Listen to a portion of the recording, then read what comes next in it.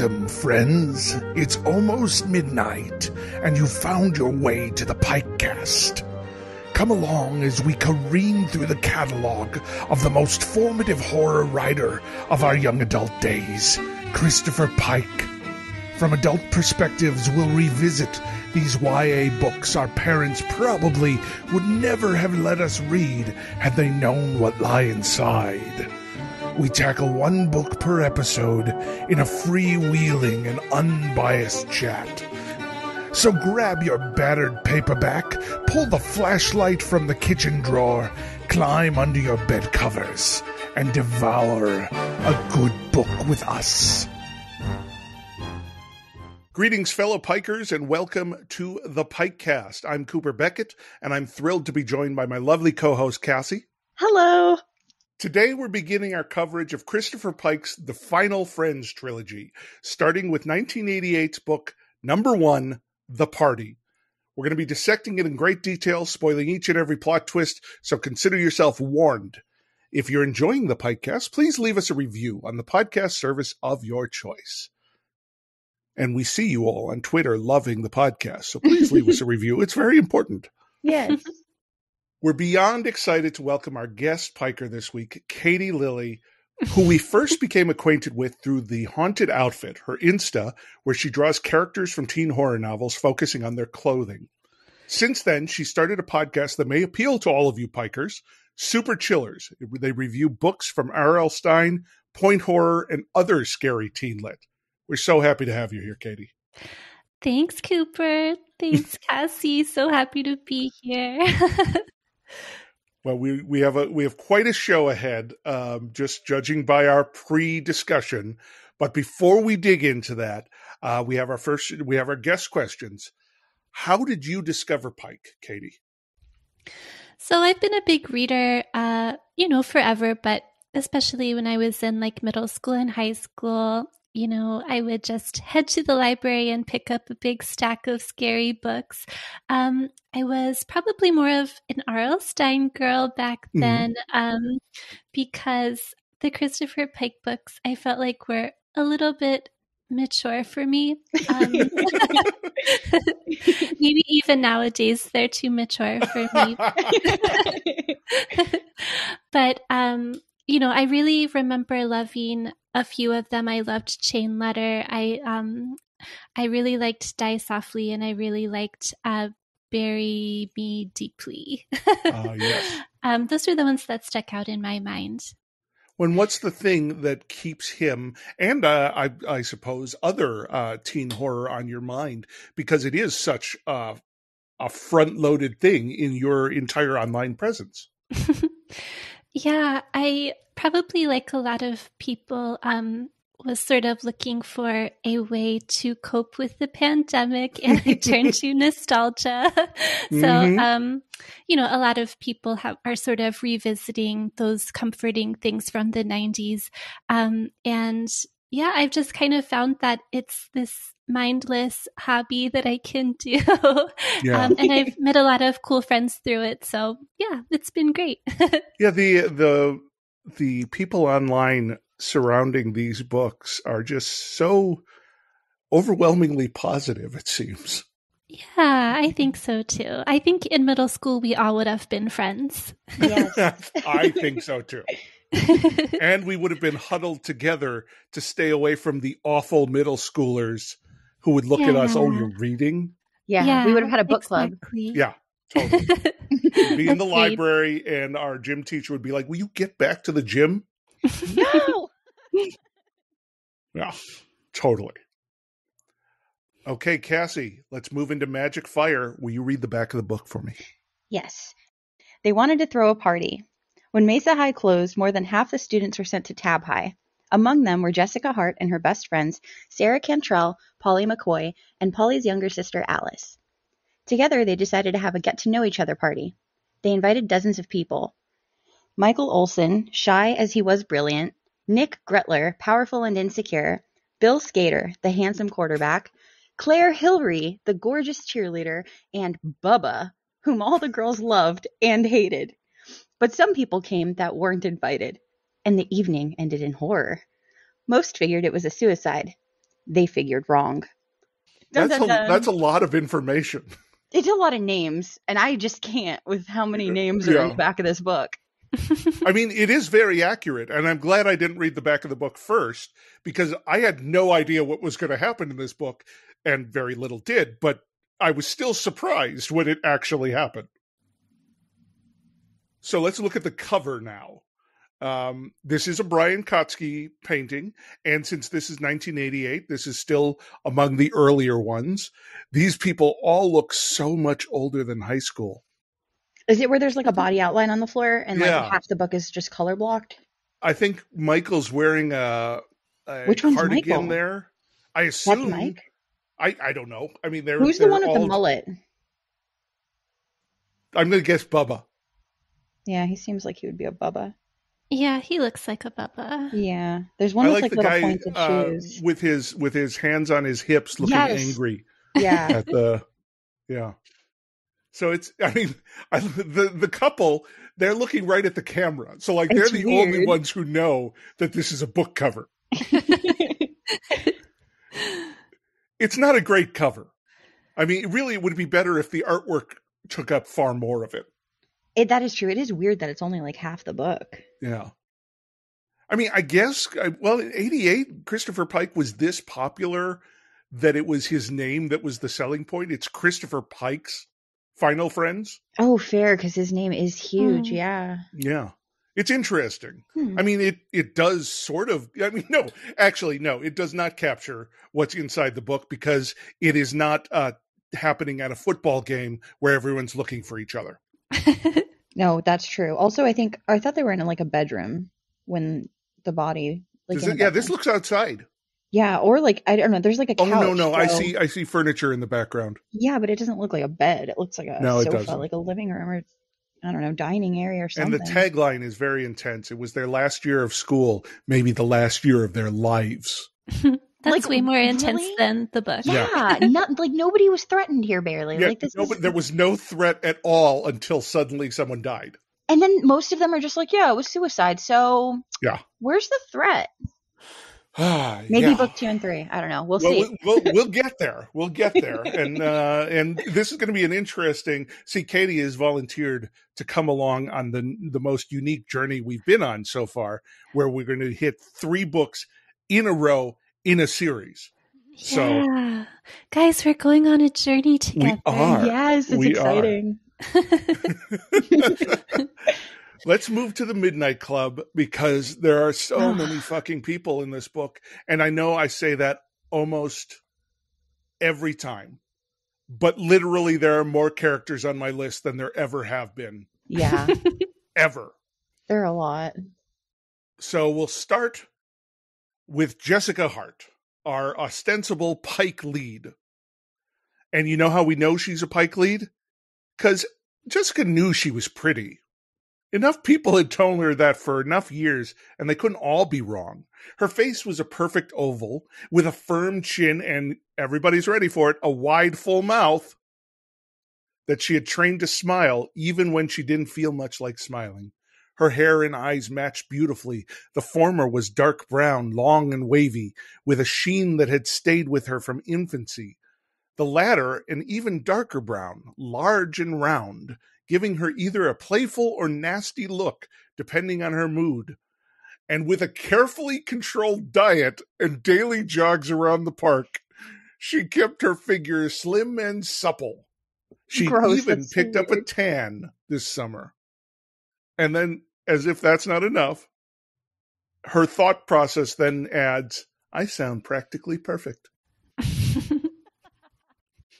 So maybe it's not really a major Pike character. Like, very few are v- that confident in themselves. No, she does not seem like a normal Pike girl to me. Like I do not like Jessica, and I normally like the plucky Pike girls, but she was like, she was jealous and she was rude and she was mean and like fat shamey and ugh, Yes. ugh, I don't like her. Very fat shamey. How about you, Katie? Yeah, I um I didn't have a strong connection with Jessica either.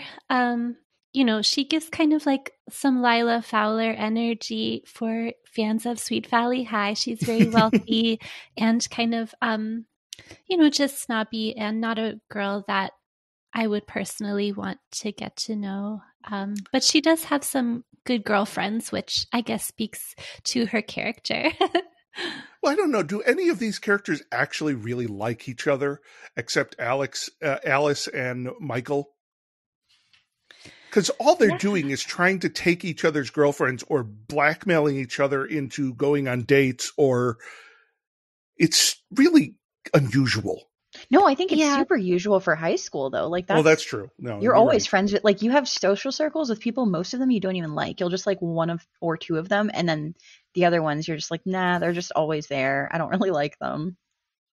And I was really thrown off. So our next character is Alice McCoy. I was really thrown off when I realized how much younger she was than everyone else. Because usually it's the peer group first, and we don't meet the peer group character, Polly, Alice's older sister, until later. So Alice has bright brown blonde curls, very basic description. Um, and there's there's a, a brief moment of maybe bisexuality uh, hinting. She didn't understand how Alice, a nice enough looking girl, but certainly no fairy princess, also bitchy Jessica, drew girls and guys alike to her in droves. So, you know, maybe a little queer coding, probably not. Um, but Alice, and then by association, Polly, had lost both her parents. So we have some absentee parents as well. I like Alice more than Polly. Well, Alice is almost a cipher here. Like, I didn't really realize it until the end. And here's, listeners, is your first reminder that we're talking spoilers when Alice killed herself. But she's she's so dreamy the entire book, and she's dating someone who may or may not exist. Really? Even though people talk to him, I'm still not sure he exists. I feel like he's going to be like a much bigger part in the other books because I cannot imagine why he was mentioned like so creepily here, but then not yeah. a, like an actual part. Like, so I don't obviously I'm not I don't need to like know in advance we'll get there in like a week or whatever, yeah, a couple we'll of weeks. Yeah. But like I just I feel like there was a lot here that they that was literally just set up and a lot yeah. of these characters it, there were too many of them for it to be set up. Like he really should have condensed here like because I don't remember half of these people. No, I know. I know. And I feel like he was really writing like an adult novel sized book for teens. Like if what he really wanted to do was write a 600 page book, I suppose that's fine. But you have to have more like really this book is almost all set up and like so one of my favorite books of all time literally is Fast Times at Ridgemont High, the book. It's a and book. It is and it's wonderful. I have a PDF because it's next to impossible to buy, so I will send it to you. It is wonderful. And it is written as literally a year in these teenagers' lives. And at times, that's what this book felt like a year in these teenagers' lives. Unfortunately, these teenagers aren't doing anything terribly interesting, whereas the Fast Times at Ridgemont High kids are. So it's like the whole time I'm waiting, it's like, will you just do something? Like anything? I sort of feel that the reason that there are so many characters is because he's trying to set up this whodunit situation with all these yeah. different suspects. But if you get to the end of the book, it's really clear that most of the characters can't be suspects. Like it's impossible for them to have been right. involved in this crime. So he like sets them all up as suspects, but then immediately rules out like 90% of them.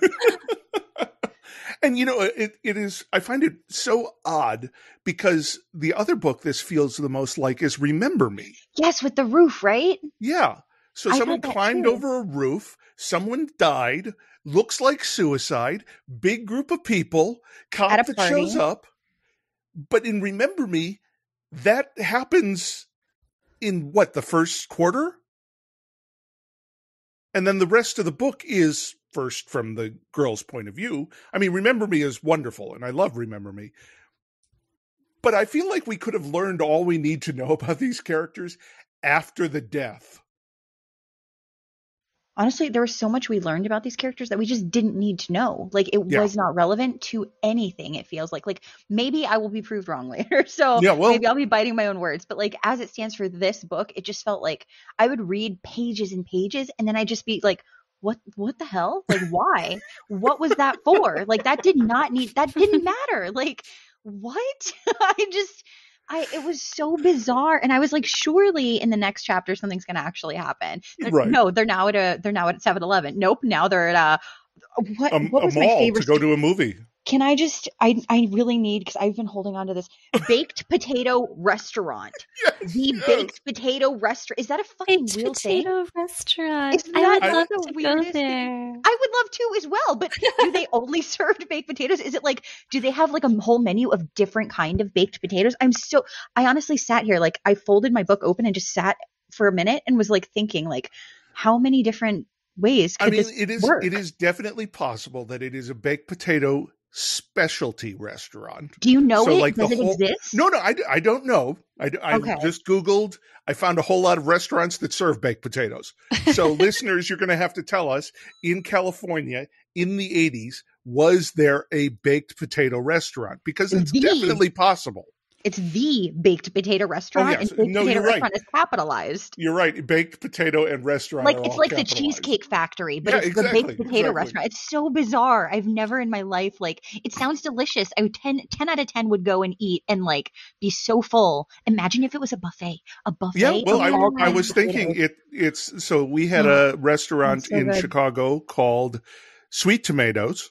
Oh yes, I've was a been there. So it's a Salad. salad bar based restaurant. So you go and get the salad bar, but then there's all this other stuff too. So you figure a baked potato restaurant could be you walk in, you pay, you pick up a giant baked potato, you put anything you fucking want on it. Oh my god, Huh? this is Yeah, so like a frozen yogurt exist? place. Doesn't it Yes, sound great? it's Yeah. froyo. It's potato. Well, Yeah. okay, I'll work on that. Potato. I'll work on the name. And s- I What understand now. about potato, comma, yo, exclamation point. this must be why Pike went with the baked potato restaurant. the restaurant. baked potato He restaurant. was like, potato yo doesn't work. I can't do that in this book. I'm sure he thought of that first. but honestly, I would not be surprised if it if it existed. I really need to know. Please, somebody, if So, you yeah, are listening to this, you know. please. In in California in the eighties, baked potato restaurant. You know what? Anywhere. If you lived anywhere and you had a place called because maybe he didn't live here and he he was somewhere No, else. that's true. thought they're everywhere. So if you just have ever seen the baked potato restaurant existing, please let me know. Just I want to hear your girl. it. Tell Yeah, me about it. want to hear about it. Thank you. Okay, so let's move on to Polly McCoy. Hold on. Well, first of all, Alice, we actually have some reasonably important information about because the fact that she's an artist and is painting paintings weirdly after dating Clark, that seems important. I don't know if it is because the book does not tell us, but it seems important. She also, in a Pike tradition, stole Clark from her older sister Polly, who also dated Clark. It doesn't really seem like point. she stole him so much as he got tired of Polly and moved on to Alice. Well, that also is a Pike trope. You know, like the the girl who gets all upset when the boyfriend moves on because she's just not an interesting character. Or like, um, what was that one, The Lost Mind, where they were like triplets or something? You know, Oh yeah, right. he reminded me of that guy. Yeah. Yeah, I don't remember that I mean, name. he's got to be supernatural also. There's no way this is not a supernatural story. I just imagine Katie over there because she has all the secrets and she knows, like, Yeah, she's she- read them all. She's, she's just like, like, rubbing "Can't her tell hands together. you." Yeah. Every time we say something wrong, she's just like, haha, wrong, haha, Which is basically how Grady played us with uh yes, it's with true. Remember Me. It's true. So we appreciate your candor, Katie. yeah, you know, I'm keeping it a secret for now, but I will say you guys are gonna love it. I'm so excited. I was like, after finishing this, I was like, dude, this book was not good. And I'm not looking forward to reading the others. But after hearing you tell me, like, even just that stuff happened, that's enough for me. Like, Yeah. anything, please just give well, me Well, you figure something. now they've set the table. Yeah, I know So everybody. All should be thirty the meal. characters. right? Unless he introduces like 30 more characters. No, I'm ready for the baked potato. Let's go. so Polly uh, is weird.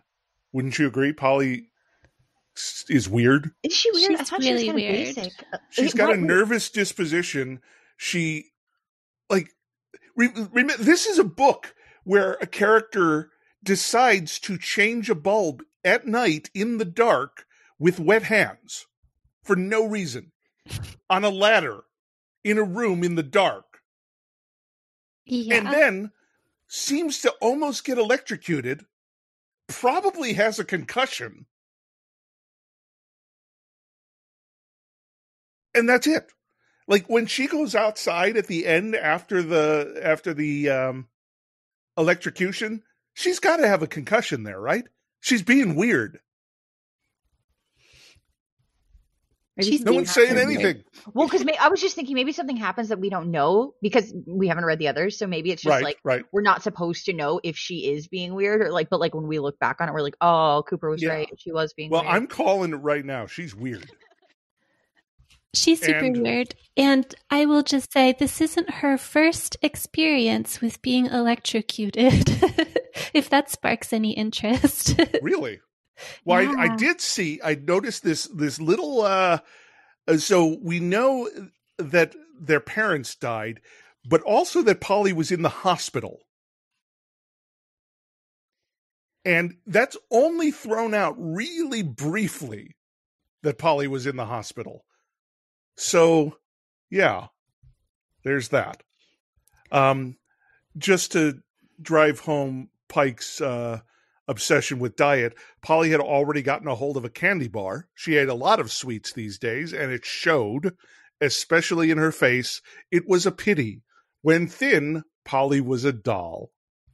I wrote rude there and marked that with a do not like Yeah. this colored tab.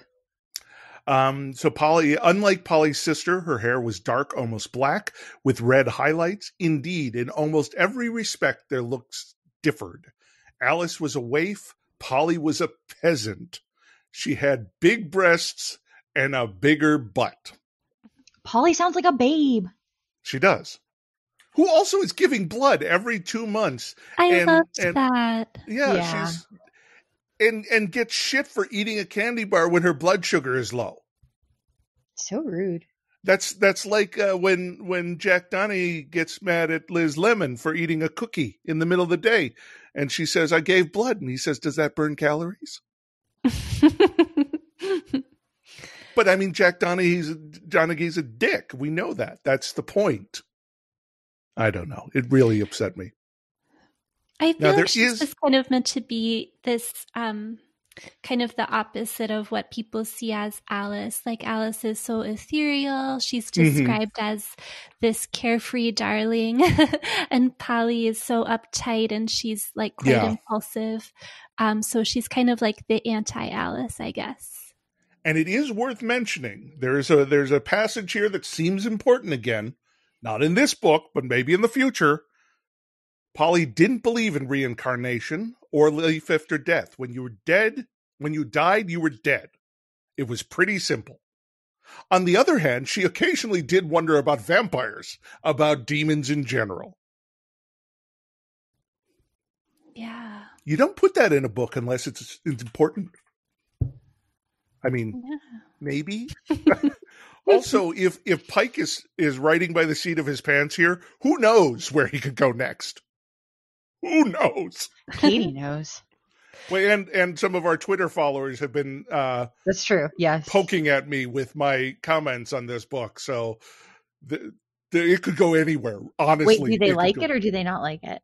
Well, no. Uh, uh, the the few conversations I've had did not like this book, but emphasize that it goes in weird places. Good. Oh, that makes me see. Now I'm like even double double excited. Yeah, if if you're going to be bad, at least be weird. Yes. Right? Agreed. Let's move on to Sarah Cantrell, who is a character that's basically I'm betting Pike's wish fulfillment, like he wishes he could be this person in high school, who says whatever she wants, who goes and is elected student body president despite not wanting to be, and then decides to cancel Homecoming just because. I bet Pike wanted to do that. I mean, I know I wanted to do that, so I'm I'm totally on board with Sarah and her bizarre uh, storyline. Like that's her storyline. That's Sarah in general. Yeah, Sarah's and, pretty sassy. Yeah, and I like her. Yeah. Though she she also gets saddled with a, a guy in she wants to take a guy that her friend's in love with plot because of her and uh, let me find this name Russ. Russ Desmond from the track team and because Polly is also in love with Russ but Russ thinks Polly is Sarah. But I think she I don't think she wants to steal him because she met him first. He like knocked her over True. And then he met Polly later when he was drunk, and he didn't even know he met Polly. He thought it was Sarah. But Sarah doesn't care. No, also, yeah, that's also true. we've we've got other problems with that Sarah and uh and again I lost his name. Russ Desmond. See, he's that important to me. he's one of the few that actually like stood out just because of his like scene where he stands up for the guy like a little late, but still. Well, but he also uh, goes to pick her up for a date with oh, no right, money, yes. Uh, yes, yes. bad hair, uh, eating a sandwich on he her front know porch. It was a date. He was just told to show up at the house. He knew it was girl. a date. Jessica didn't even tell him. She was just like, "Just show up. Like it'll be fine. Here, Uh, don't tell her I said so."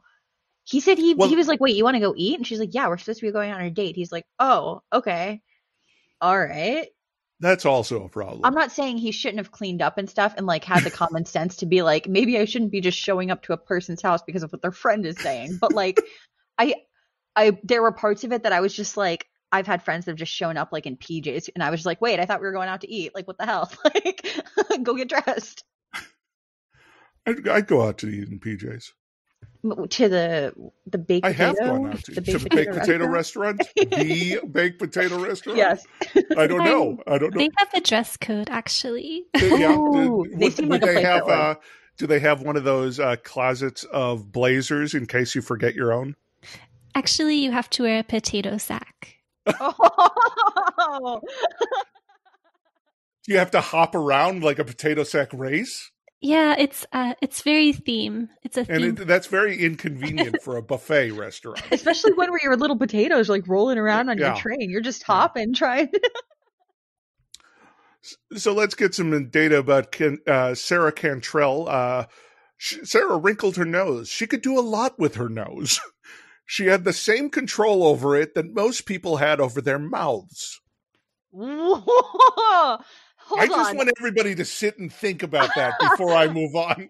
I think I skipped over that line somehow. Because wait, what the what? Yeah. Can she like? I'm think I'm literally moving my mouth right now, and I'm like, mm, I don't want to be able to do this with my nose. This is No, fucking I, weird. I feel like it just means she could wiggle her nose and she had a cute nose. That's fine. But but this uh again, this is this is Jessica's opinion, I think, because Jessica seems to be our point of view character. This did not mean, however, that it was an unusually large nose. Sarah was cute. Now again, I want you to think about that pair of lines before I move on. It was not an unusually large nose. Everybody, Sarah was cute. And here we go. She could be as ruthless on herself as she was on everybody else. She rated an eight on a scale of one to 14. what a unique person. Who? What? what? Like there is a traditional scale of human looks, and it is 10. Everybody knows that. What is 14? she had rust colored hair cut straight above her shoulders, hazel eyes, and a slightly orange tan that somehow got deeper in the winter because she frequently wore orange tops and pants to complement her coloring. Jessica told her she looked like Halloween. I'll tell you, I want to go out with the uh, outspoken girl who looks like Halloween. Oh, that's very on brand for you. That's true. That is very on brand for me. I feel like Sarah is one evil deed away from being a sugar sister. but she's got to have a little evil in her, and we don't see that yet. We have not seen the evil. Okay, we uh we haven't even gotten through uh, a quarter of the characters. Let's move on to Michael Olson, who seems to be the male lead. Would we He's agree with that? yeah. He's Yeah, fine. He's all right. Uh, his parents are divorced, so he checks that pike box. Uh, he's living with his mother, and he seems to be taking care of her, uh, so she doesn't date bad people. That's a pike checklist. He works an unbelievable amount, and let me tell you, I did the math on this. So he works 50 hours a week at the 7 Eleven. So that, let's break it down even if he worked 10 hours a day, Saturday and Sunday, he would have to work an average of six hours every other day, plus six to seven hours of school. When is he seeing any of his friends? Because he seems to have a, a lot of time on his hands to Well- work like that. A lot of his friends come to the 7 Eleven. That's true. But we rarely see him at the 7 Eleven, except at the beginning when his friend tries to rob the 7 Eleven. So, yeah, there's that. Mike has thick black hair and eyebrows, pleasantly friendly features, yet it was his eyes that sparked her interest. I believe this is Jessica again. There was an extraordinary alertness and intelligence in them, a sharpness she had never seen before in anyone her age. And she seems to like him but is friend zoning him and he likes her but is friend zoning her so he doesn't appear to like her and it's frustrating and obnoxious Agreed. speaking of frustrating and obnoxious let's move on to nick grutler who as a character is not frustrating or obnoxious but pike's insistence in being as stereotypical as he possibly can about this poor guy from the ghetto in East LA. Nick Grutler was six feet four, wiry as a hungry animal, and as black as midnight. This description was very embarrassing for It really Pike. is. Like I I mean it's it's obviously part of the problematic section, but Yeah. here he came from East LA where youth gangs ruled. None of them had the pent up emotion that came from having to eh, master the use of a switchblade by age 12 just to survive. He had not killed anyone. No, he had been forced to stab. At, no one he had been forced to stab, at least, had died in his presence. But he had seen more violence than most war vets, and he had always hated it, and worse, in his own mind, for someone of his size and strength, been afraid of it. Like we've seen this character in, it feels like almost every other Pike book we read in the last few months.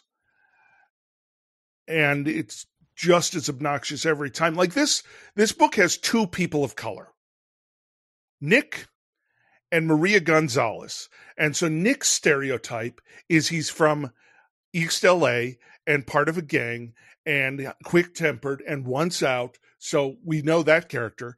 Maria's stereotype is that her parents are illegal immigrants. So the only Hispanic character in this book is an illegal.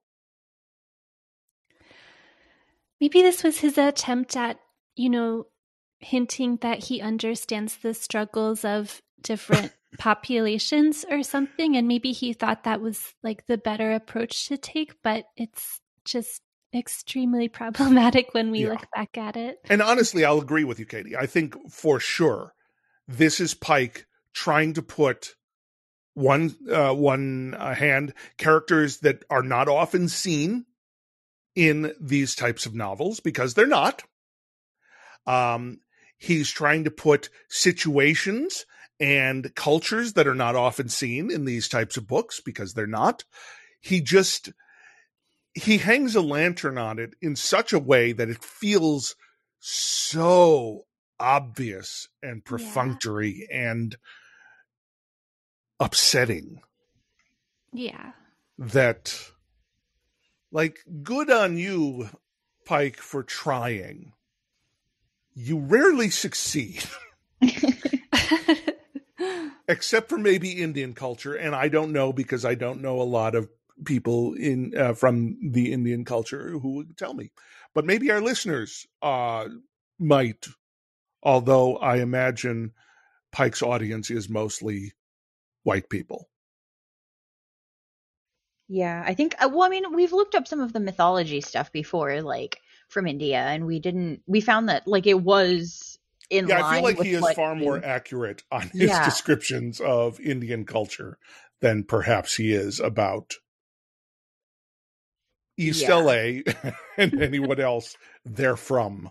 I definitely don't think it was like an intentional like oh, I'm gonna just like I don't think he was doing it to like gain like clout or anything. I do oh, think no, he was trying no. to do something like good and like representational with it, but it and is, Nick is a good guy. Yeah, and he like in the cold one too. The the guy who was in the gang, like they are good people, and yeah. I I think that is something important to note as well because he could be writing them much more stereotypically. So I guess mm-hmm props but i think the problematic nature is is first of all they have to get out of their home base period yeah. and which you know i'm sure a lot of people from east la might say the same thing they want to get out of east la but the problem is uh, own voices people writing about it is one thing yeah um, white suburban rich writer writing about it is a whole different thing yeah because then it just seems like a like he's performing. Like it's not yeah. it's not authentic and it's it's just like why? You should just right. kind of like not. okay, before we get to one of the people that uh, makes Nick's part even cringier, let's talk about Bubba. Bubba feels like an amalgam of every character Pike wants to be. because he's great at computers He's great at life.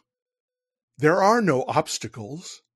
He he's he's kind of chubby.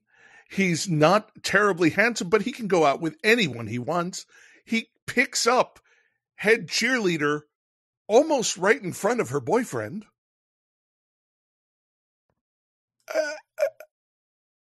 I mean, He's also got kind of a bouginess about him, like ordering that Indian food when all the other students were just eating hot dogs at the basketball game. Oh my gosh. Oh, yeah. And he put the little napkin across his little lap. yeah. I wrote in the book and I was like, ooh, so fancy. I mean, uh, he knew that Bubba had a strong admiration for the female species, which is an obnoxious way to say that, or at least a powerful appreciation of them, which was almost the same thing.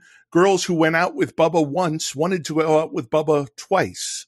Ew. He knew how to satisfy them. I that's so I I wrote ew in my book next to that because that was so gross. Like ew, whose whose point of view is that? Like ew. That's Michael's point of view. He needs to stop. Yeah. And then we also have b- basically a Judd Apatow scene in the middle here. and uh, where where Bubba is telling the the boys, Nick and um, Michael, how to get girls. You don't want her to think she's overly important to you. That may offend your romantic ideals, Mike, but it's a fact. Human animal, the human animal only desires what it can't have. True, you have to make her feel wanted, but never loved. If she knows you can't live without her, then she'll also know she can see you whenever she wants. You want to operate from a position of strength. Always keep her in the dark, unsure of where she stands. Never listen to this friend. Yeah. Uh, and what's what's really funny is that specific character advice persists for like two decades still after this. You know, like that's exactly the advice that Andy gives Kevin on The Office. That's exactly the advice that, um, again, Judd Apatow, uh, the the characters who are not the main character give to the main character. In this case, I'm thinking probably Steve Carell in Forty Year Old Virgin. It's it's perplexing advice. I mean, it is the text of the book, The Game. I don't know. I'm just exhausted by players like that. I really am. And they don't strike me as good guys in any way. So to have a player like that who's also named Bubba. I mean, who the fuck is named Bubba by choice? Because his name isn't Bubba. His name is John Free. I don't. I, I'm exhausted by the character. what do you ladies think? Um, he was where people started to blend for me because he was uh-huh, just. Uh-huh. I I don't know. I like I know he was a character and I can remember things that happened with him, but I honestly like his personality. I just I don't have much to say. He could have just been cut from the book and they could have had somebody else do everything that he did, and I would have been yeah. wiser. Would not have missed Bubba, is my opinion. Well, that's that's reasonable. I do have one person coming up that actually has no description, so probably also could not be in the book. But first, we have to get to the Rock, who, okay, I I don't know if Pike was trying to say that people contain multitudes, but the Rock at once is a big brother and um, charity doer in the ghettos and also calls Nick boy and starts a fight with him for being in the weight room when other presumably nice white boys could be using the weights. I don't fucking know. I don't get it. What is he trying to say here? Not the rock, Pike. What is Pike trying to say? Yeah, I mean, I guess there are a lot of people who have this like performative, charitable attitude where, you know, they go to church every Sunday, they do all these nice things for the world, but at the same time, they're like evil, despicable mm. people in reality. They just cover it up. So that was sort of the vibe that I got from him from this book, but um I will I will say that there is more to him than meets the eye that you'll learn about in the next book. Okay. Fair enough. Uh, presumably he did not get blinded when he, the uh, the chlorine got thrown on him, which let me say probably my favorite part of the book. Because I had never once thought of using chlorine as a weapon. I mean, that was yeah. pretty awesome. That was harsh. I gotta say, that was pretty awesome. And gave Polly some fucking agency. Like, she is not going to have shit go down at her party. She'll fucking blind a guy. And also gave gave Michael a little agency. Like he clearly didn't like the guy, especially after the shit that he was giving Nick, but still was trying to help him not go blind.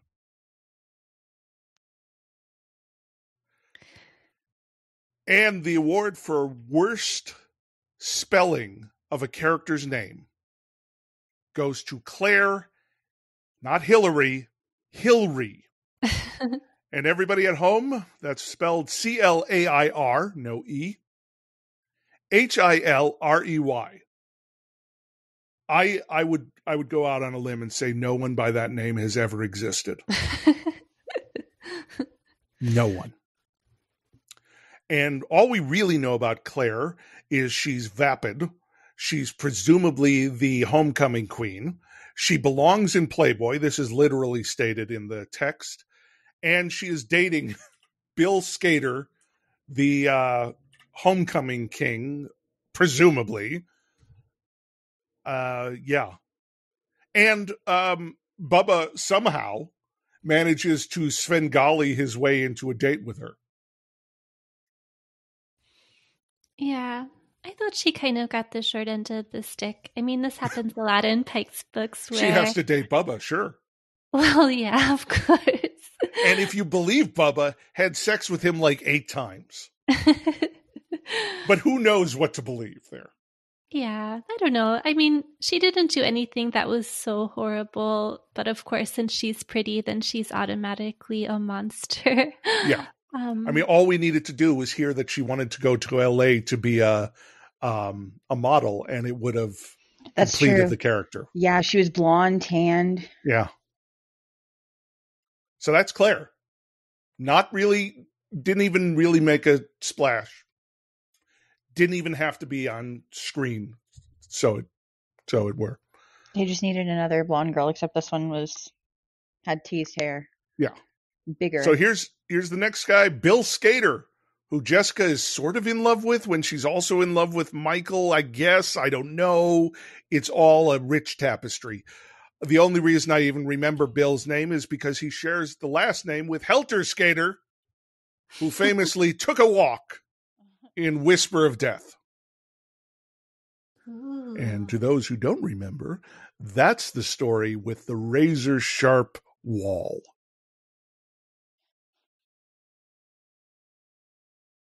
I don't have anything on Bill Skater. Like literally, there's just a space below his name. I have nothing.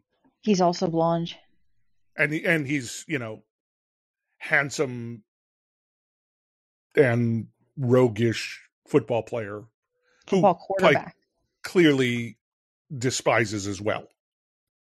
He's a hunk, according to He's the girl. he, he's a hunk. Yes.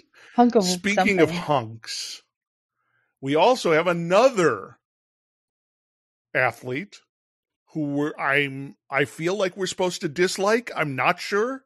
He stands up. Uh, this is Russ Desmond. He stands up for Nick in the locker room, but then is drunk most of the rest of the time we see him, and is I I'm not going to let you defend him too much, Cassie. He is the worst date you could ever be on. I he didn't know it was a date though. Well, he could have gone home. He could have said, "You know what? Let's do this another time." He should, he's he, he's he's still awful. He was just like, "All right, I'll go along with this." Uh, I guess. He just went with it. And then, like, when he realized like what was happening, he was like, "Oh, I shouldn't have said that." And the girl was upset, and he was like, "Hmm." To be fair, I'm not. I think it was really gross when he was just like, "You have plenty of money, give me some." I'd be like, "I don't Like care he how literally fucking tried money to I take have, dude." money out of his yeah, wallet. like I'd be like, you, you need to go, you need to go walk home. Goodbye. Yeah. Like you, you're not just entitled to my shit. Like, nah, that part I will agree with you. But when he showed up, I, if he did not know it was a date and he showed up like that, like not realizing, just kind of sloppy and like, hey, what up, guys? You know, like, No, I agree with that. It's just he kept going with it. That's the problem. Yeah, that's that's fair. That's fair. So we meet him when he runs into Sarah. The next time we see him, he's in a tree with an axe and he almost kills Polly and then falls out of the tree because he's fucking drunk. and we get this, which is a very pike line. She liked him, and she didn't care that he was the guy Sarah had been searching for all night. She'd seen Clark first, and look where that had gotten her. Nowhere. When it came to love, you were a fool to be nice. I did like that line. Yeah. But And then Sarah, on a date with him, says, What the hell am I doing with this guy? I agree, Sarah. I agree. Believe it or not, there are more characters. Oh gosh. Now this is this is literally the worst character in the book. Carl Katz Barber, who literally brings a gun to his friend's place of business and pretends to rob it. I don't think he was pretending. I think he was actually trying to rob. You think he them. was? He just Yeah, I couldn't think so tell, too. to get away with it.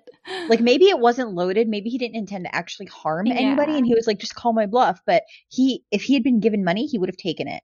Yeah. I think he's like the Tasmanian devil. Everywhere he goes, just turns into chaos. Yeah, I agree with that. Oh. Well, uh, Carl Barber, better known as Katz, was a 19 year old loser. He had gone to Tabb High for five years, taken advanced pottery and shop one, two, and three, and still hadn't graduated. He'd had a lifelong dream of joining the Marines, but without the diploma, they wouldn't take him. I didn't think the Marines were that discerning, I have no idea. but I could be wrong. Yeah, he's he's an absolutely worthless character, but he's a he's a suspect because he cl- could have climbed on the roof. So there's that. Next, let's talk about Clark. Okay. Okay, so no one wants no one knows Clark's last name. Alice doesn't want anyone to meet him. Polly seems like she's still in love with him, but doesn't want Alice to have him, but also doesn't want to date him. Has the brightest green eyes Michael had ever seen. They practically glowed in the dark. Has a deep southern accent, a disconcerting stare. He's basically nothing but skin. Like, it's so, like, I mean, okay, here. Uh, Bubba gestured in the direction of Clark. Who's that? A friend of Alice's. Wonderful. He looks dead. Do you think Clark's dead? Katie, you shan't, you can't answer. I, I don't know. I don't know what he is. He just because they don't even explain it. Like he looks No. dead. How? Like does he just look tired? Like is he very like? I don't like. I, I don't know what to make of that. Like, are, is he just like bored? Yeah, I have no idea.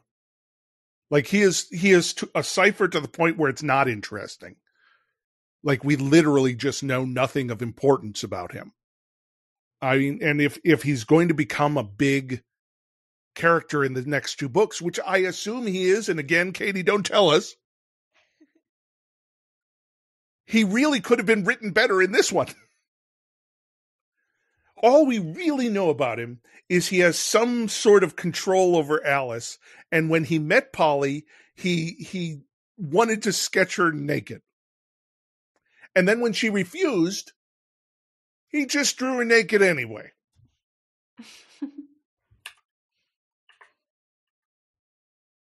So let's move on because Clark is not a real character. Mr. Bark.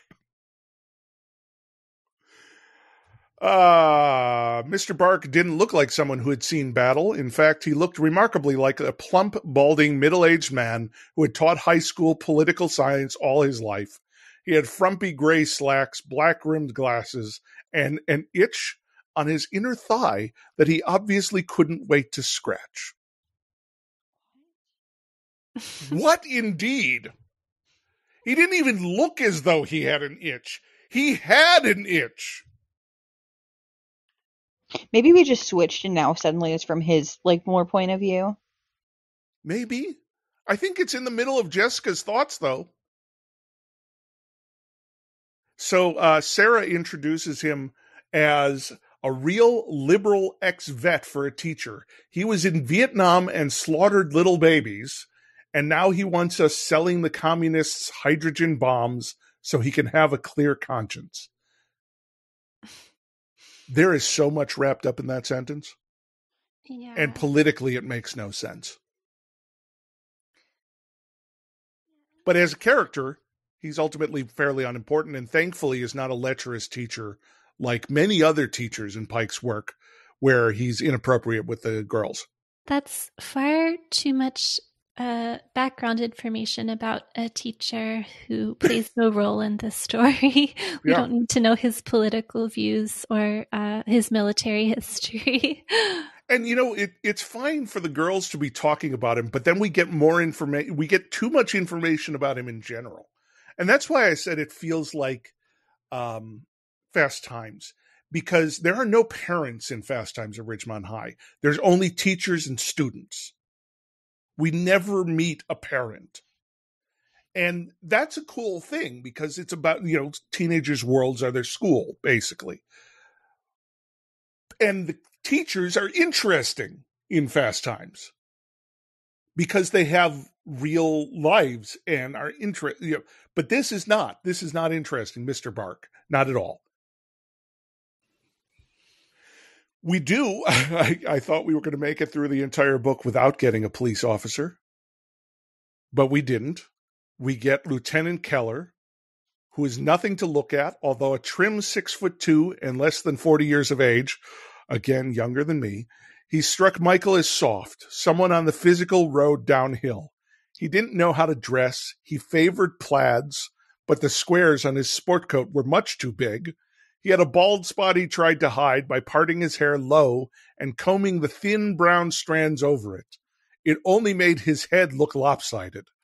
And he had that grayish skin so often seen on the movie Sleazeball. That's a lot. I like the gray skin part because I can like that's one part that I could actually like. I can imagine that Yeah. like in the movie, yeah, like in Totally. when there's like that creepy. And I assume Lieutenant Keller is going to become more important because he just has started his investigation and closed it because it's a suicide by the end of the book. That I did so that was something that I thought while I was reading. I was like, wow, the cop is not very like he's not as in it as I would expect given Pike's other books. So I was hoping, well, not hoping, but I was just like, maybe he is going to be more prominent in the other books. I don't really have hopes. I'm going to be honest with you guys, but I think he might be. But what we do have, and what is traditional in Pike's work from cops, is a willingness to just look the other way and let characters do whatever the fuck they want. because Michael shows up to a crime scene.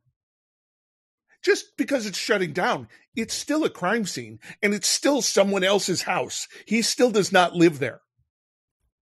But Keller just lets him walk in, leaves the door unlocked for him, gives him a fatherly pat on the shoulder before he drives away. Yeah, they didn't really keep a tight t- crime scene back No, in those no. days. I mean, speaking of loose crime scenes, Michael literally finds evidence, finds the shattered light bulb on the ground. So they didn't even sweep this up. Even if it's a suicide, they would still have done that. Bad cop work. Yeah, I mean, I'm sure we'll go more into it, but there Are are a you lot sure, Katie? Are you sure we will?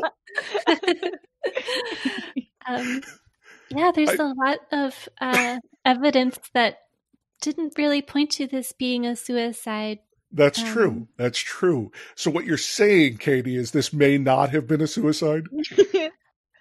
I mean, who knows? Maybe not. I- like it, it could anyone anyone's a suspect. Anyone it could know at this point. could be one one of 67 different characters Yeah. could be the culprit here. So before we delve too much into the plot, I have one more character who has no importance whatsoever, but her description is priceless pike. Cindy Fossmeyer. Cindy Fossmeyer had huge breasts. They were so huge that they fairly blotted out any personality she might have had. oh my god. Isn't that the perfect Pike description? I don't even know who I don't even remember this girl. I don't remember her either. I just highlighted it, and it was I. So I I have no idea where in the book that happened, who was talking to her, who observed her giant breasts. I have no idea. But yeah, that is one of Pike's. I don't care about this character, but they're gonna they're gonna pay for something. They're gonna be miserable for some reason. It's tough being a girl in Pike's world because, like, if you have huge breasts, then you are just like this empty headed bimbo or a bitch. And if you have small breasts, then, like, none of the guys want to talk to you and you're just like this nerdy person. It's tough, They always man. want to talk to your chunky best friend. 'Cause So it sounds so like friendly and loose. it sounds like uh, someone who doesn't have breasts imagining what it might be like to have breasts. Yeah, well, it doesn't really factor that much into your day to day life. yeah, and uh, surprise, people want to date you regardless of what kind of boobs you have because people just like boobs in general a lot of the time. Like Mhm. big boobs, small boobs, they're just boobs. So they're like, whoa, cool, boobs, great, extra, bonus, in addition to liking you. Fantastic. But it did matter more in high school, right? I genuinely don't like. I, I've had boobs since I was like 11 or 12, and I do not remember it ever being a big enough deal outside of other girls who would like tease me for it. yeah. But like, I never, I like, Well, then we're talking about didn't like- junior high girls, and junior high people in general are probably the worst people in the world. it's true. That's very true. I don't think we're ever as awful as we are in junior high. No, I've done I because I'm in school to be an elementary education teacher. Oh, um, really? And I yeah, and I so I've done my observation hours at all the like the different grade levels and middle school is literally the worst. Like Oh my god! it was I had to sit in this science class and the kids were literally screaming like really mean things about this teacher, like her weight and her appearance and she was like, "Y'all just do your worksheets." Like super calm at the desk and I was like, "Oh my god, I would be so depressed. Like I could not handle this. I'm too soft."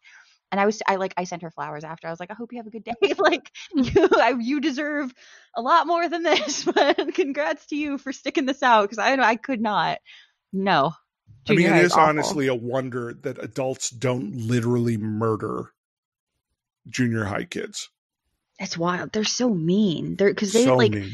they start knowing that's when they start learning how to use their viciousness, I think. And Yeah, they're not they don't have their conscience fully formed. So they're Right. just vicious without caring about who it hurts. And it's just me speaking as somebody who used to be that age is awful, mean, terrible. Side rant. so, listeners, what we want you to do while we take a quick break is think back to your junior high days and enjoy that gift from the Pikecast. Sorry.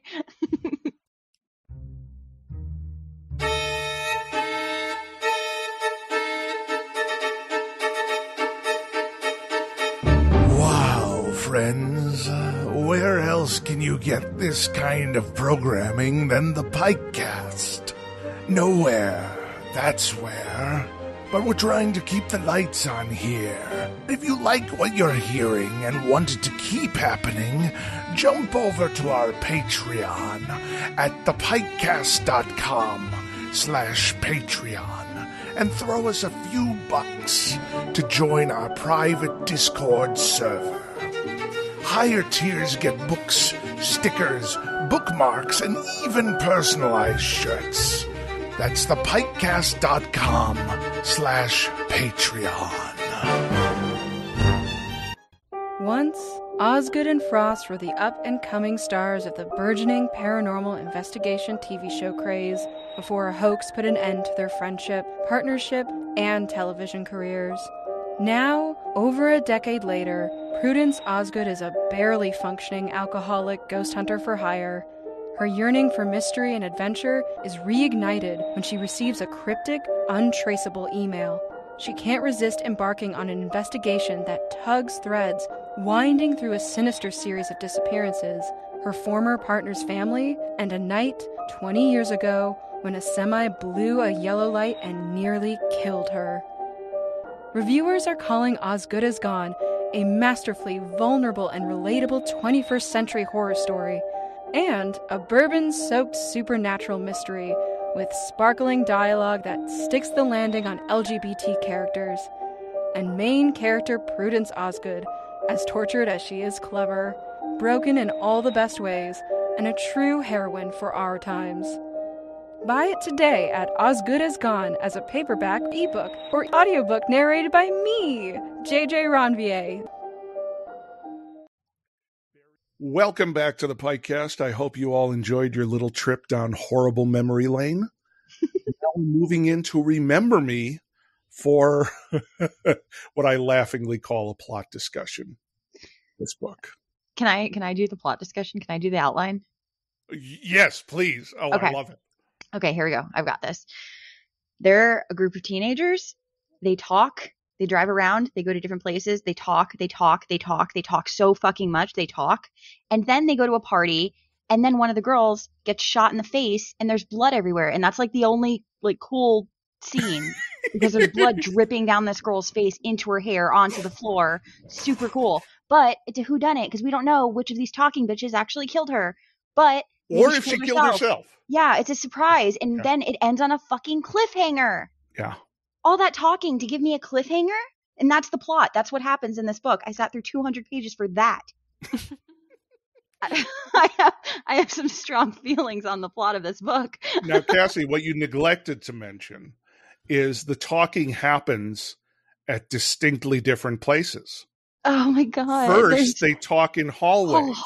Yes Then they talk in an assembly. Then, which what feels like takes up half the book, people wander around a football game, literally asking where the other people are. yes Like I, I started highlighting. Do you know where Jesse is? Where's Polly? Jessica asked. Like it.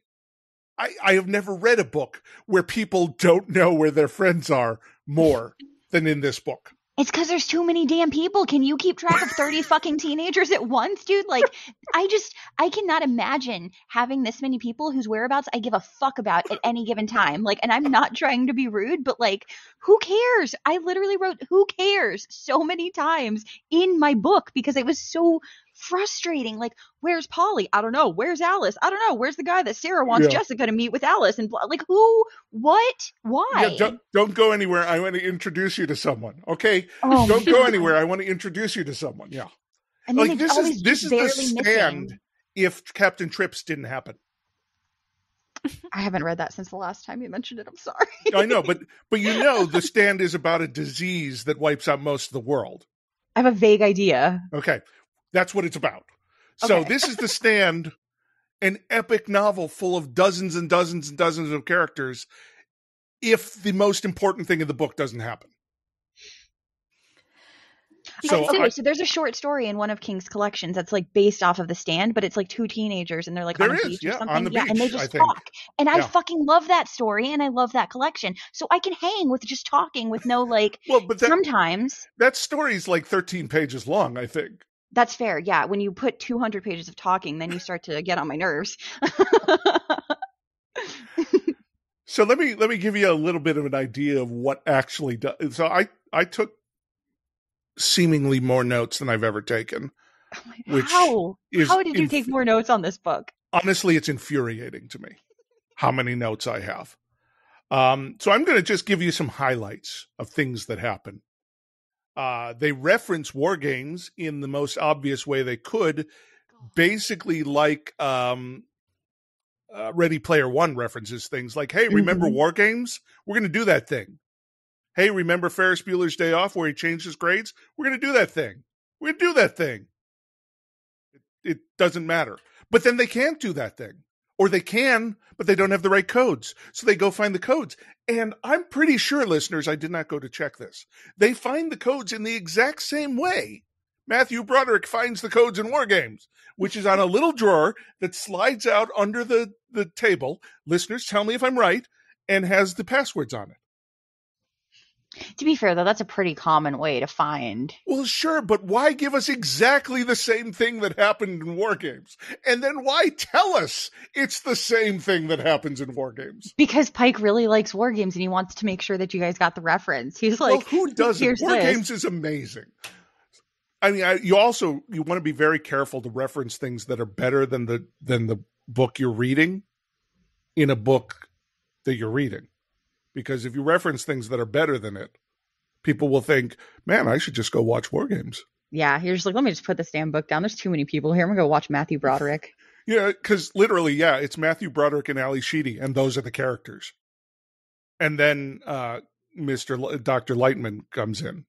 I think it's been a while, and Joshua the computer. So there we go. There's the characters of War Games. Now name all of the characters in this book without looking at the li- list. so here's Sarah being a bitch to Polly for no reason. Uh, what happened to you? You have leaves in your hair, Sarah. Well, you have a fat ass, Polly. and this evening, I'll wash my hair and just look wonderful, and you'll still have a fat ass. What a monster. Why? I don't know. So we talked about how Michael and Jessica are basically accidentally friend zoning each other, both wishing each other would make a move. Like here, after after Jill is uh, Jessica is in love with Bill Skater, but for a moment wishes that it had been Michael to ask her out, that this was a real date instead of her just taking him out because she wants tutoring. But then, speaking of places where people show up, literally every member of the cast, I think, shows up at this movie they go out to. So we get a whole lot of, oh, Maria, hi, Nick, it's a small city. Then they ran into Bubba and Claire inside the 31 Flavors. Then they bumped into Sarah and Russ standing in line for the same movie. It's it's like not even a book anymore. It's like it's like a joke on us. Haha, you're reading this. he's like, So- "Ha," the whole time he's ready. He's like, haha, you thought something was going to happen by now. They're going to go to a movie now. And then they're going to watch the movie. He's like, you have to sit through a whole book Yeah. before something happens, and then the good stuff comes in book two and three. So let me let me tell you a little bit about Russ's bad date. You know, I know I know Cassie and I have had this conversation a few times here. But so Russ is drunk and because Sarah didn't know th- that he was drunk, Sarah drives Russ's truck and gets pulled over and has to take a sobriety test and walk in a straight line with the breathalyzer and Russ is drunk sitting in the car. Um, but then here's the infuriating part. Jessica says, But do you like him? Are you having fun? And then again later, when Sarah leaves, furious because he tried to take money out of her purse, she's crying and says, This is stupid. And Jessica hugs her and says, No, this just means you like him. Like, I know people often like people who are bad for them. I know. But this is infuriating.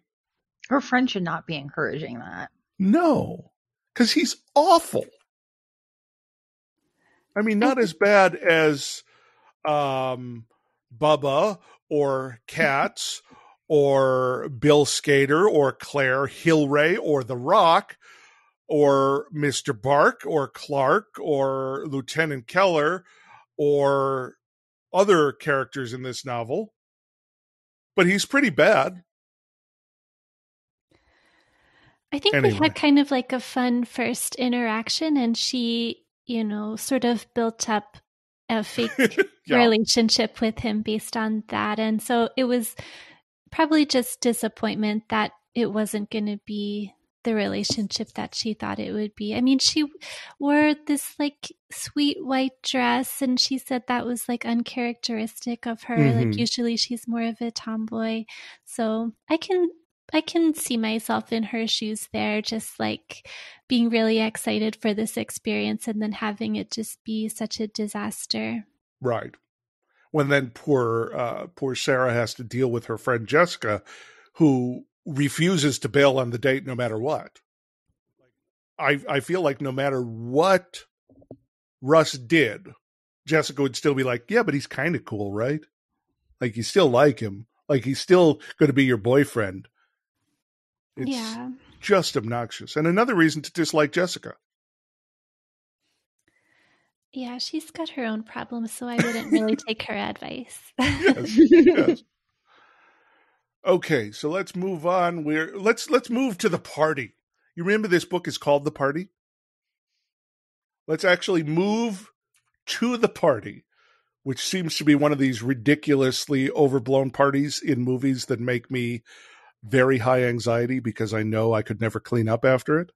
The yes, it's the clean because uh, the thought of attending them is not so bad because it's actually kind of nice. Like there's like a little bit of like you're anonymous because you're just like lost in this big wild crowd. Yeah, but, like, right. It's actually your house, the entire time you're like, don't break anything, don't spill anything, like don't go in there. Oh my god, like I, I, can't handle, even imagine. No, I can't even handle like having one person at my house that doesn't already live here. I'm just like, God, watch where you step, please. This is my home. like a party, I would just lose my shit. I am way too controlling and weird for that about my space. Yeah, totally. um. So yeah, the Rock starts some shit by taking Nick's Sorry, you said the suit. rock and so you said it so much in conversation that I was just picturing the actual rock. The- Like when you're saying that. well, that's the problem with a character named The Rock. Now we have a The Rock who's basically officially The Rock forever. Like no one else can be The Rock. Uh, so so yeah, it was strange to see uh, Dwayne Johnson in this role of The Rock here, um, being racist for some reason, and then literally like like there's there's no more queer uh like masculine fragile masculinity queer baiting thing than the bully taking off someone else's uh pants. It's it's so coded but maybe it wasn't in 1988 I feel like that was very like in 70s and 80s, like in the horror movies and stuff, like that was very there was always like kind of Yeah. coded like bullying going on from a lot of the popular jock guys. That's true. So he's awful, and then he gets he gets uh, uh, chlorined, and then winds up showering in the garage. It sounded like, uh, like so much is happening at the end of this book, and so many people are reviewing where people were that it doesn't make much sense at all. But thankfully, we even have a diagram. Oh my Michael, gosh, the diagram. I So Good loved God. the diagram. I do, yeah. I was I was which staring at it and I also was like, oh, is like remember me Re- where there was a diagram of the Yep. apartment i need to see when remember me was I was don't know gonna if it was which one of before these was first. let me see 89 so the So year the after this year. Not, it, the, the What? proximity is ridiculous then Okay, so it, it for me, I think he wrote the first book then, and he was like, okay, we're gonna go in one direction, and he's like, but what if? what if there were ghosts and it's from the ghosts perspective and we switched some stuff around and then he had another trilogy like two for Yeah, one he's so that's true. skilled look at this and the other one is you know i mean the first book at least is much better which is interesting because this one the first book fucking sucks but apparently the next two are going to be more interesting whereas with well we, remember we don't Me, know that they're going to be good katie never said they'd be good she said she thought we would like them more yes but that's not a high bar hey, well yeah that's fair I- you know I what like that we're talking about her like she's not here. I'm sorry. no Katie. i wasn't trying to You know, I'm gonna say they're good. Okay. Okay. Yes, I'm so excited. So Well, it's I'm- like I- the exact opposite of Remember Me. How interesting. Yes. Like the sequels suck. But from what I hear about the third book in this trilogy and the third book in that trilogy, they're both batshit insane. Oh yeah, it's totally uh, you know, an episode of Riverdale, but um the thing that I do like about them is like every character like that we've been making fun of in this book, there's a new side to them. And Ooh. I think Okay. there's a there's a lot more to explore. So um, I think next time we talk about book two, uh, it'll be fun to compare like our original. Oh, absolutely. Oh, I'm so excited. We're going to be eating all of our words and all of our insults about certain people. I don't know. Let's not get that excited. That would be that would be an amazing needle to thread on Pike's part. Gosh, Maybe maybe we're going not to turn around and be book like, The. Rock. He's amazing. Look at him help these these small inner city children. Claire Hilrey. Whoo, woo, we love her. Yeah. Okay, so don't then- know. Let, let's Maybe, let's see, I'm excited. Okay, we, we we we we need to stop speculating. Well, I mean, we can speculate, but we need to we need to finish with this plot, as it were. Um, so then, uh, you know, Alice uh, creepily tells Michael that she thinks of him as her dad and Jessica as her mom, and then kills herself. Yeah, Maybe. there we go. Maybe. maybe. Well, from what we what we've seen, what what the book is told, Uh, I I mean I don't know. Michael doesn't believe she killed herself, but she was found with a gun in her mouth and you know pulled the trigger, and the, it was very hard to believe that other people were like. I get what the cop is saying. It did look like she killed herself because nothing happens in this book, I was looking for clues everywhere. Like every dialogue that the characters had, I was interpreting it in so many different ways to try to like. So, I'm are sure there clues? Just... Are there actual clues? No, there's no. Oh, okay. I mean, from what I could tell, um, and I consider myself to be a pretty good detective, but um, you know, I think there's a lot of red herrings that are thrown around. But um, I was just being like overly analytical when I was going through it because I'm like, surely this isn't just a book filled with nonsense. Surely every word was chosen carefully. Fool me once, Pike.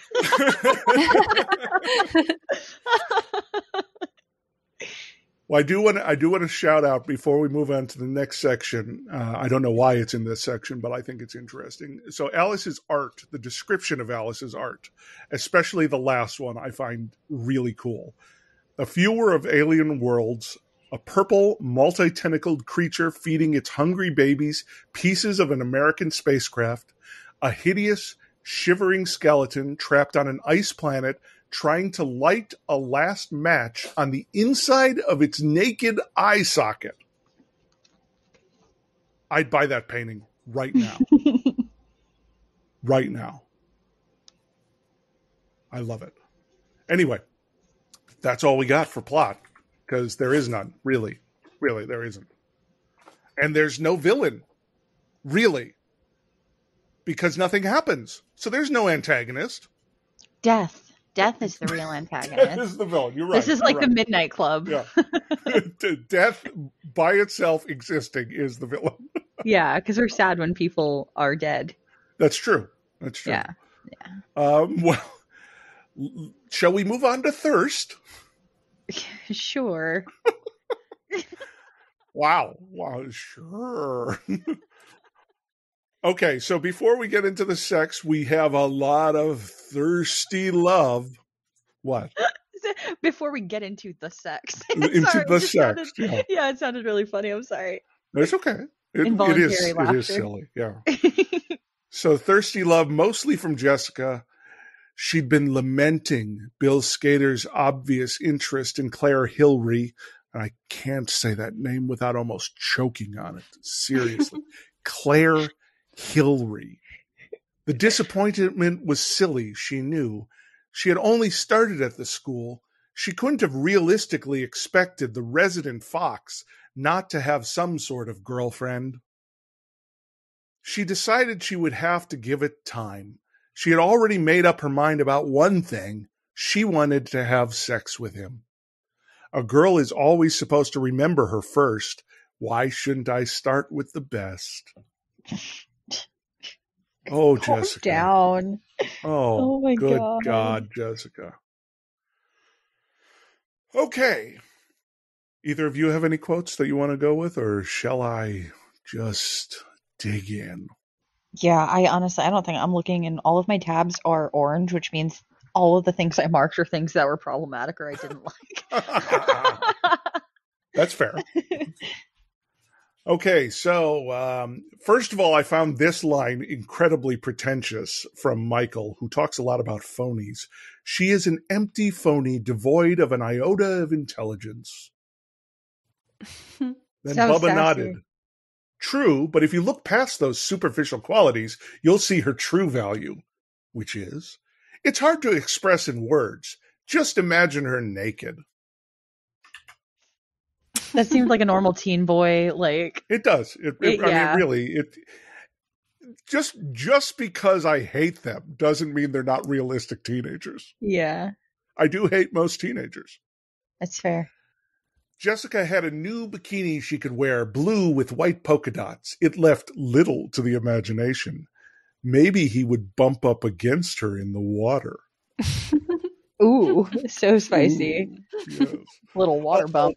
At the same time, Bubba is planning to go diving to grab uh, uh, bra tops and bikini bottoms and just yank them right off. Just, He's a perv. Yeah, total perv. She, Cassie, I apologize in advance. There is lactose in this sentence. she set down her milk, folded her hands between her bare legs. He couldn't help noticing how much of her legs there was to notice. Nice skirt, nice legs. Where are they? I have no idea. I think Why? that's, that's I think she's sitting outside at school with the milk, I think. There's no reason to be drinking milk. Like, no, no, well. Okay, so then we got Bubba and Nick and Michael in the car. Bubba looked over at him. Do you consider yourself a gentleman? I suppose. Bubba pointed to the glove compartment. Open that. Take the box out. Nick did as he was told. Bubba was referring to the box of condoms he had been showing off last week. There are only two left, Nick said, peering inside. That's why, Bubba said simply. Michael snorted. You didn't have sex with her eight times before Ice Cream and the movie. Four times before, three and a half times after, Bubba said. it's funny because it's a halftime. Mm. I is it though? Because I don't I don't what how did he It's not. It's not funny. It's not funny at all. There's another scene, um, actually pretty similar to that, where um, he's speaking with Michael and uh, he comes out of the bedroom with a box of condoms and he asks Michael if he wants one. Mm-hmm. And Michael says, um, That's all right. You might need the whole box. And then Bubba says, I did use a whole box once. Lost three pounds that night. Gained it right back though. It was mostly water. he oh lost oh three God. pounds. yeah, it's yeah, yeah. So this this next one makes me think of um, the uh, eternal, the immortal, the immortal, the immortal, right? The immortal or the eternal enemy? No, the immortal, the Grease one. Okay. Okay, yes, the immortal. When she had first arrived on the beaches of southern France and seen the people nude sunbathing, it had been a shock. But by the end of the week, when her parents weren't around, of course, she had joined the crowd. Yeah, that is very similar. this I, I feel like I know what Pike's trying to say here, but I don't think he's saying it well. In a cheerleader uniform, Claire projected a certain sex appeal. In this reasonable excuse for total nudity, she looked positively nasty. All legs, chest, enough clear brown flesh to exhaust any red blooded American boy's fantasy reserve. I hated that sentence. Yeah. Yeah it's a pool party. What's she supposed to wear? Like, yeah, and, she just wear a normal bathing suit? Like, I, I mean, nasty is not a. Even if you don't like someone, it's not nasty. Yeah, you can go slutty. That's fine. Nasty. Well, because they remember that and they were like, but from certain, depending on her mood, she could look nasty or something. Like mm-hmm. maybe nasty means something different for him. Well, it was the 80s. I don't know what that means. I'm sorry. I don't know. I'm just imagining Pike, and he's just like, "How can I put this? Ah, oh, she was so she was nasty. Ew, nasty. I hate thinking about him thinking of a teenage girl. No, no. Nasty. I'm just thinking of how he how he writes it. I'm, he's no, like, "What word should I use?" No, yeah, because that is. I agree. No, but That's... I mean, you still are thinking about Pike sitting in front of his computer, thinking about a naked teenager yeah, that's fair. But still, like, I don't know, because like I figure if he's, no, I don't know. I mean, I'm not yeah. saying it's bad. It's it is that though. It, no, yeah, because he does. It's a writer writing, and that's fine. And we write, we can we can write about teenagers having sex, and that's okay. It's not fetishization because it's fiction, and that's okay. But it is still that. I'm not going to think about him. Okay, that's about fair. that. I think. Um, this is fun here. Uh, Polly and Clark, before Clark was dating um, Alice, and before Clark became a creepy cat, dead mutant guy, they spent most of their time together necking in her bedroom with the door locked. She finally did take off her top for him and her pants, but they never had sex.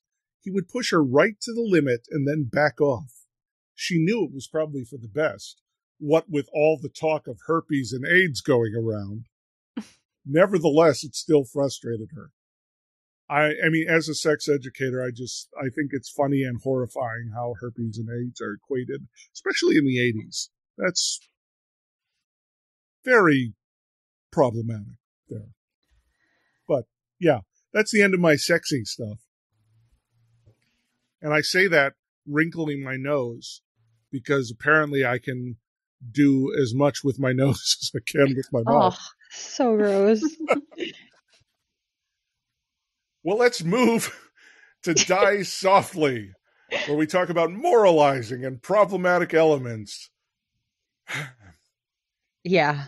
I mean, okay, so we got more talk of the ghetto and the barrio, and yeah, which we've already talked about. Um, we have the use of uh, a black to describe that's- Nick. That's the thing that I have. Who the who would hire Who one? would hire a black with bloody hair? Yeah. Which why? What the fuck? like I, I all I can say is there was a time when that was acceptable terminology, no matter how horrifying it may be for us today.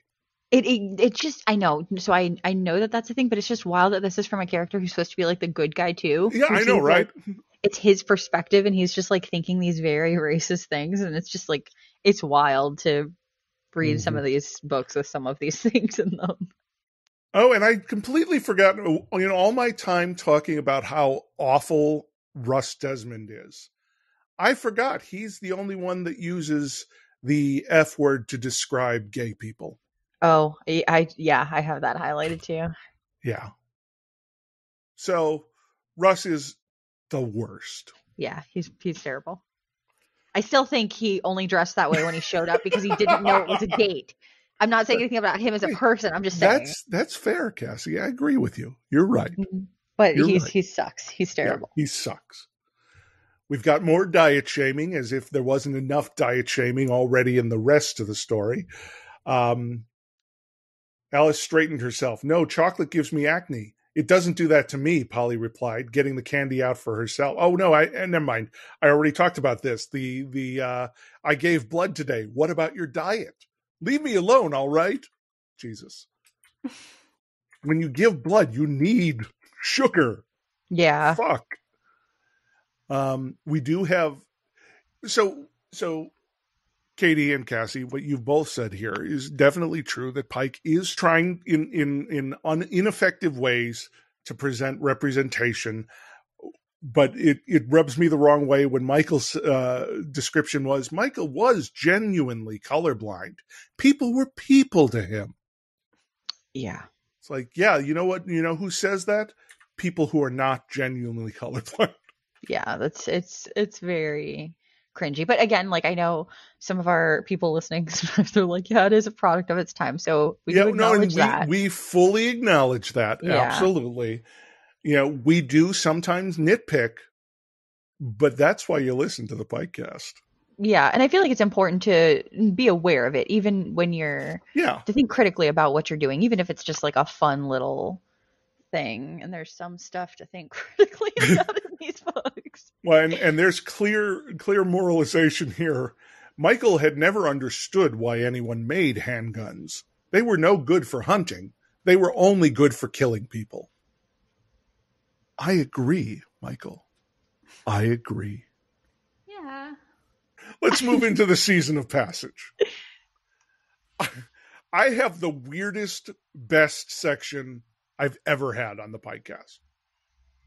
It's three lines and they're single sentences. Are you ready? hmm The, three different lines for the best. What did this stupid machine expect her to do? Drink water? I love that. I don't, don't know why. Next, in a line as good as the as the Shakespearean stage direction exit pursued by Bear.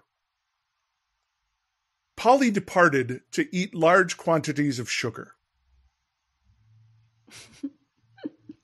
Don't know the context. Don't know it, but I love it. I don't know. And then the last one is about coffins.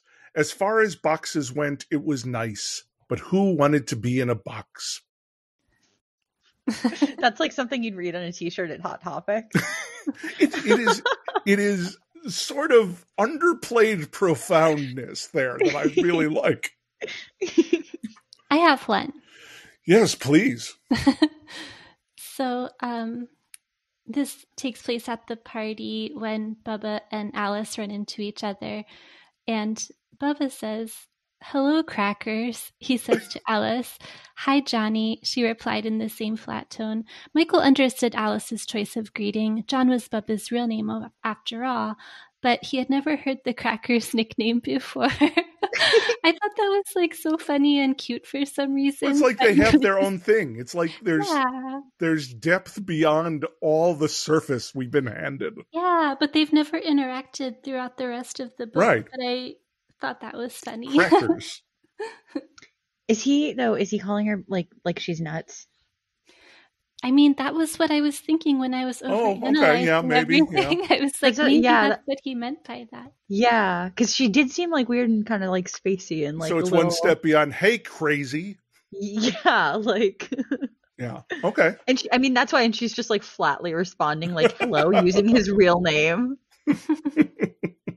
I did really like um, when Sarah was screaming at Russ uh, after their terrible date I have no class, she screamed.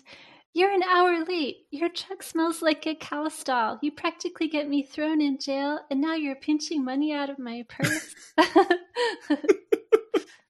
that was she was so mad like rightfully she mad was, and and it was it was pretty great like of all the all the things that happened in this book that i liked involved sarah she always stands up for herself mm-hmm.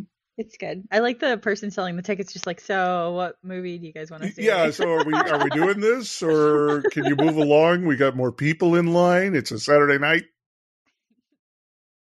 Well, let's move into weird. There's a lot of references to phonies in this book, like more than I've seen in any book other than Catcher in the Rye. I don't have a any any point to that. I just thought it was interesting. Just lots of phonies talk. Um, tonight, for the first time, she had seen Clark put his arm around Alice. If you would do that in public, there were a lot of other things you might do in private. That is very intense innuendo for something that's very, very innocuous. This I don't understand. See if you understand it or if it's just nonsense. Um, when Jessica asked uh, Bill to come to the party, her approach had set women's lib back 20 years, she realized, but she didn't care. He'd asked if she'd be there. He was only coming to see her. Her approach does not seem in any way derogatory toward women. So I have no idea what that's about. I mean, she asked him to the party, so that's kind yeah. of a feminist thing to do. I mean, I she just all she did was say yes, she's going to be there when he asked if she was going to be there. So, like, he wants to see her there. She said yes. That has nothing to do with women's lib. It, it's it's complete nonsense statement. anyway, Maria was a different sort of friend for Jessica.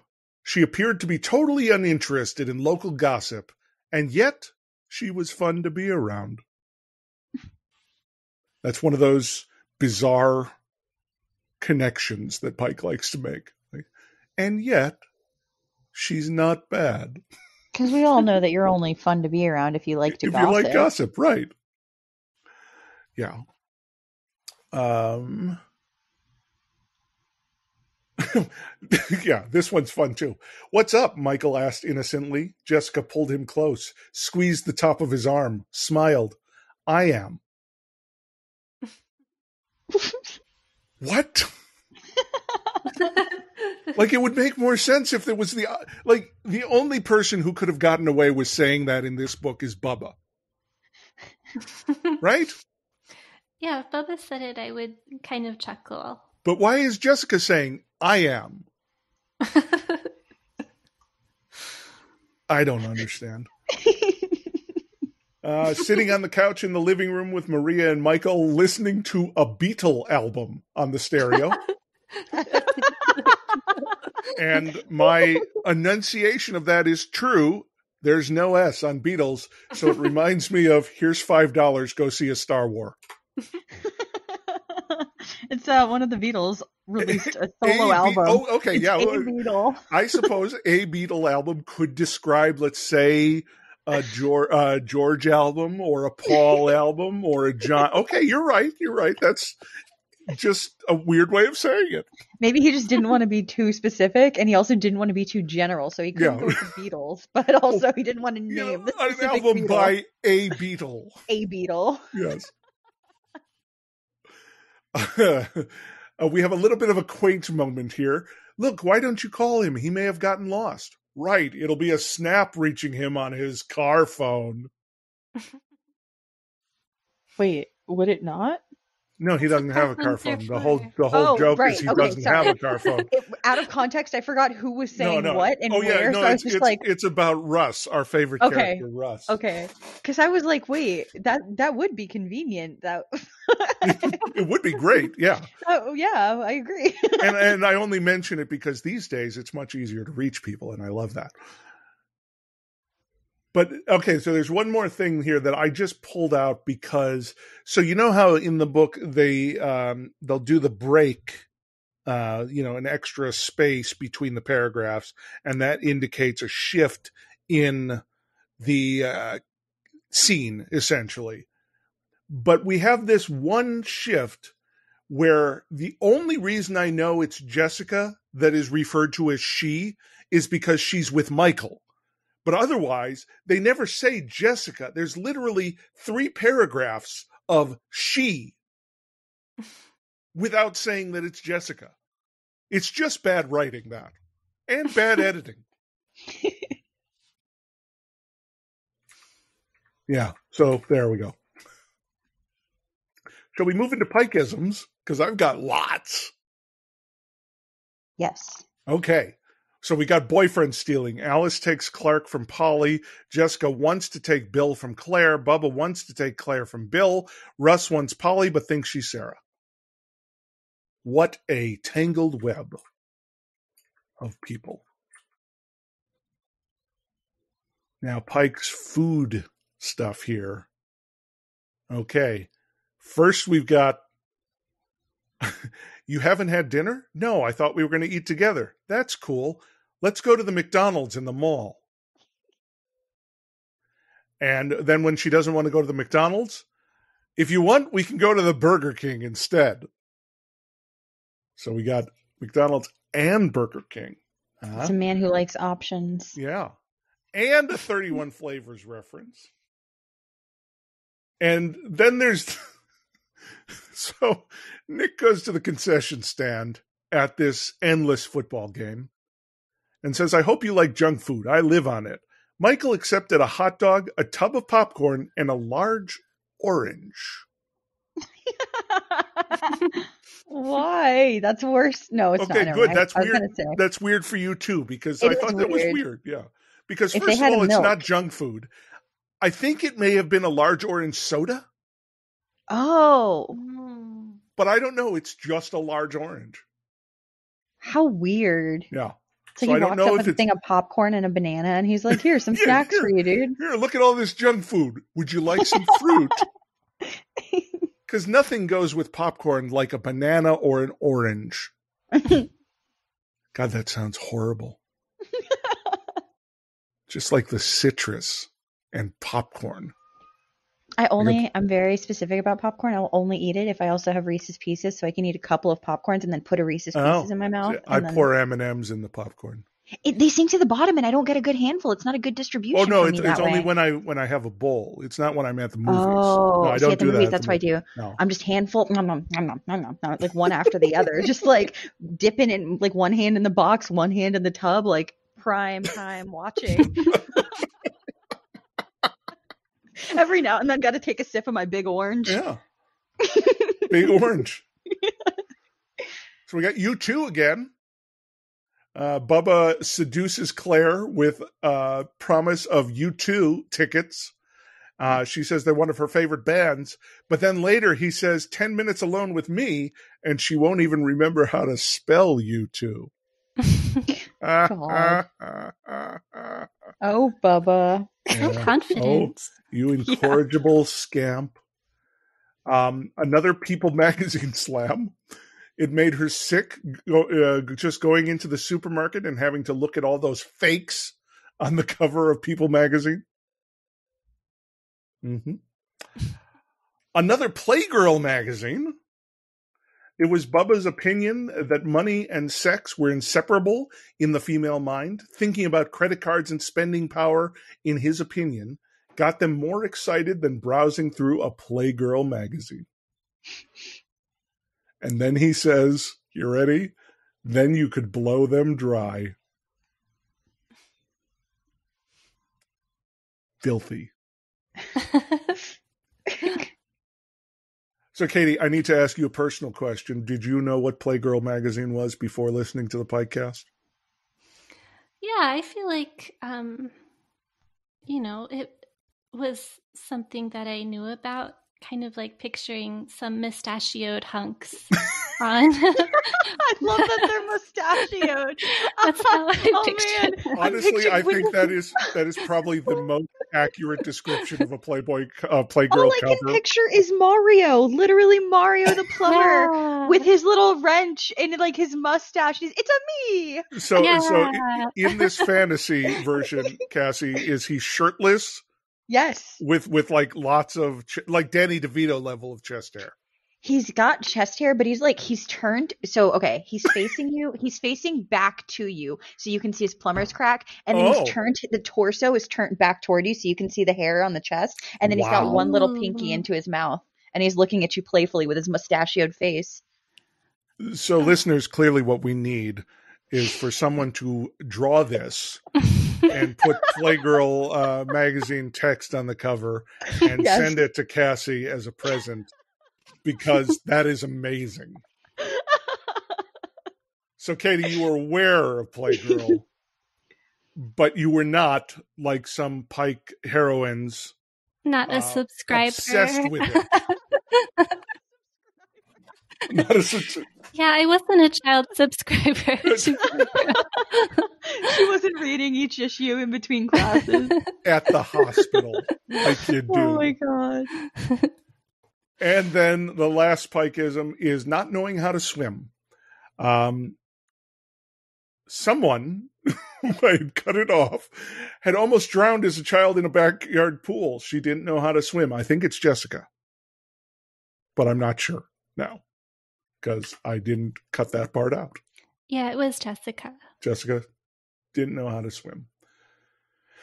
And that's all I got for the season of passage. Does anyone have anything else? Or shall we move to last act for another rating that's bound to be fascinating? I got nothing. all right. Well, Katie, now I want to mention at the end of all three of these episodes, I mean, I mean, at the end of the third episode, we are going to give an extra rating for the trilogy as a whole. So this is about evaluating the individual pieces. okay. Okay. So what is your score out of five pikes? Um, I'd give it maybe two pikes. Um, you know, I if you've ever read the Babysitters Club, at the beginning of each of the books, there's about like two paragraphs where they describe each of the babysitters with their characteristics. And I feel like this whole book was just, it could have been that paragraph. Um, I found it like pretty painful to get through because, like Cassie said, I was just waiting for something to happen. Mm-hmm. Um, and it's, we're not exaggerating when we say that it's, you know, the last five pages that the event of the book takes place. so, um, so I, I, found that unfortunate. But once it does occur, I was intrigued because then, you know, my mind started like thinking back to all of those little things that could have been clues and and mm-hmm. everything mm-hmm. like that. So it was intriguing in a in a sort of way. Um, but unfortunately, it just really didn't hold my attention, and I didn't really like the characters that much. Um, so I don't know. It, it wasn't my favorite, unfortunately. Well, that's that's more than fair. She's so polite. I'm over here like, this is the plot. Fuck this and fuck that. And Katie's just like, unfortunately, I really just didn't like this one. I don't think I cared for it too much in comparison to Pike's other works. And I'm just like, this book sucks. so one other thing that I might add is like in the newer edition of Final Friends, I forget what it's called, but it it's like the omnibus of like the oh yeah right. put together. And you know it's like the, got like the modern cover on it and everything. And maybe that format is better, like more palatable because you are just getting through one book and right, it just seems like these are the introduction chapters kind of. Yeah. But like it's a big risk to expect people to pick up books 2 and 3 after having only released this first book because I wouldn't be that intrigued. when I've always felt that way about sets up for trilogies. Like, I mean, most of the trilogies I've experienced are movie trilogies and it's a lot harder to continue a movie trilogy than it is to continue a book trilogy that you've been told, okay, well, book two is coming out later this year. Mm-hmm. But in a in a movie trilogy, I'm always saying, look, give us a full movie for number one, and then we'll decide if we want to come back for more. and unfortunately, I mean, with the way uh, mainstream cinema has gone, uh, very few movies are full stories in the beginning. Uh, but uh, okay, well, that's a whole other uh, rant and tirade there. So I'm going to move on from that. Um, Cassie. Yes. let me be, let me first preface by saying I have absolutely no idea what grade I'm going to give this. okay. okay. So okay. I am um, literally biding time by making you go first. Um. Okay. So I think if I'm comparing this just pike wise to the other books that we've read, there are some that I gave like low ratings to. I hate this one so much more than those. So I'm gonna like well, I, I, can I, I can do a quick scan here. The lowest grade what was the lowest? ever given yeah is one and a half for Remember Me Two. oh, I'm so excited for Remember Me Three coming up. I know, right? Hey, I'm okay. just I'm just looking forward to talking to Grady again. I really don't care what the book is. How no, yeah, same, same, same. Um, okay, so knowing that, my worst. What book was that? You said? Oh, remember me too. Remember okay, me so too. My least favorite. Okay, yeah, I mean, and stuff happens in that book. I didn't like the stuff that happened, but stuff happened. So a lot of stuff happened in that. Yeah, book, yeah. So okay, I'm gonna give this one. I'm gonna give this one half a pike, and then I'm gonna give it a little sprinkle of broken light bulb glass so that it equals one full thing, but just barely, like Just very barely. barely. One. Okay. Like if you poured water into it, it would leak out through the cracks because all the pieces aren't there for that light bulb. Like, like what if just... we gave it? What if we gave it 0.99 pikes? Yeah, yeah, okay. yeah, yeah. Glassy, prickly point nine. Yeah, it's just it was not good, and it was so much. And I I understand the need for setup, and I don't understand why they didn't combine this with the other books. Like yeah, it know, makes right? no sense. Like if this were a thick book and half of it were set up in conversation, I probably wouldn't like it, but I wouldn't be as annoyed by like Katie said, literally the last few pages when something finally happens and then it ends on the most abrupt cliffhanger that I was like scanning the pages. Like, did this really end here? Am I missing something? Like, were my pages No, torn no, out of this book? literally the No. end. Yeah. It's ridiculous. And I, I'm, I'm so sorry to anybody who likes this. I'm not hating on anybody. I'm so happy if you enjoyed it. But for me, this is the, the worst of all of his books that I've read because I, I can't like I don't like the people. I don't like what they talk about. I don't like what they're doing. I don't like how they act. The only thing I love was the description of the blood and the paintings and he did that better in other books with more stuff going on that I liked. So, yeah, Wow, this is my this is my lowest rating. I think I am excited though. So that said, I don't want to make it seem like I'm super negative about the other episodes and I don't want our listeners to be like, "Oh man, this is going to suck." Like, no, I'm very excited to read what happens, especially thank you so much Katie for telling me that we're probably going to like it or at least that just more stuff happens because I can't imagine how less could happen. Like we wouldn't have a book. It just it'd just be a list of 20 character names and like how many of them are blonde and how many of them are tan and I just What if what if in the next one the school combined with another school and Oh they my just God. introduced another group of friends? Oh, good God. Oh, why? Can I? Is it? Can I just look? I, I don't want a spoiler, but I do need to. I have an entire page almost nearly underlined because there was so much like exposition about the schools joining together that I did not give a single shit about that never came back. Like It never ever. came Like back. It is so pointless. Like these teens could have been having any sort of party for any reason. There was no reason to do this as a plot. Like Yeah, I- I mean, especially since most of Pike's books have teens throwing a party for no Yes. apparent reason, and then Just somebody the getting of it. murdered or or dying. So, like, he clearly Why can do it. Schools like Mesa and Tabb. Like, w- did you have a contract with these schools that you had to put them in your book? Like, why did you do that? I just, yeah. Anyways, and why did you keep say- Tabb as the school that you wanted to people to go just- to? Why not Mesa? Mesa's a better name. Oh God, I didn't even think about that. That they did leave the ones. Man, I just, I can't with this. This is there's too much I don't like about this for me to give it any more than like one partial point nine nine. Okay, Pike. 0.99. 0.99 Yeah, I- repeating. How about that? You can you can put one on there if it makes it easier for the list. no, whatever. It's 0.99. That's fine. It was yeah. It's it's not my fave. Okay. Um. So now that I have to give a score, I'm.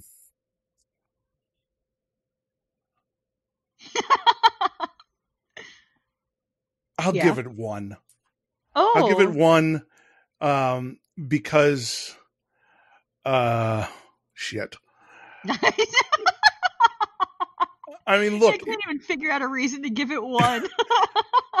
no, you, you know what? No, no, actually. So, Remember Me Too is still the absolute worst for me. really? the worst. I hate it so much. Oh my god. But Last Act is better than Final Friends 1. And Last Act was my other one pike. So this isn't even getting a full pike. This is getting a broken in half pike. The other half is gone. It's 0.5. Maybe the other half is going to be in the other two books, but it's, I hope not so. one. You know what? Honestly, if the other books are anywhere better than this, that half pike is going to get added to my score on the other end, just because I needed to take it away from this book. Yeah, and, and the the best part too is that we're doing all three in a row. So we've got like a solid like. I but these do get better. You all said, or Katie said. So I didn't say that, than- Cassie. I right. say Well, you all as in maybe the people listening and Katie. Like, I hope there's other people because I I feel like there are some people who said they loved this trilogy. They there were like, are oh, there I are love that. definitely Yeah. people who love this trilogy. So I I don't want to I really don't want to shit on anybody who loves it. I want to make that super clear. Like it's it's the worst book in my opinion, but I understand if you like conversation as a book theme and if that's what you want to read about, just people talking and talking and talking and talking. And that's me as somebody on a podcast talking about people talking. Come on, they like won't stop talking. they won't stop talking. I think it's um sort of just that it's not scary at all, and that's sort Well, of yeah, what there's we've that come too, to desire Even from if a it were Christopher weird. Pike book. Yeah, like if it had aliens or something, I'd be like, all right, we got a little like space exploration up in here. Like, but nothing. No, where are my space vampires? Where's my lizard people? Like, well, they did mention uh, a pinup vampire who's naked all the time. That's the movie they went to see. I wanted to read that book. I would see that movie. yeah, because that sounded better.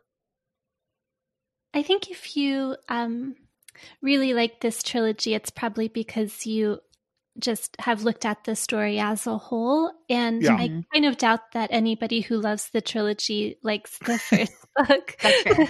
That's totally fair. And it, I think it sucks too because when I was younger, I I don't remember it, but I know I read the first one and I, I Yeah. disliked it so much that I never bothered with the other two. So he lost Yeah, his sucks. Oh man. Okay, so let's let's move on. Let's move past. Let's uh let's say uh Katie, tell our listeners where they can find you and listen to your podcast, which is awesome. Thanks, Cooper. Um, if you're interested, you can follow me on Instagram at the Haunted Outfit. I draw pictures of outfits from crazy '90s teen horror books, and I have a podcast called Super Chillers. Um, again, where we talk about 90s teen horror books.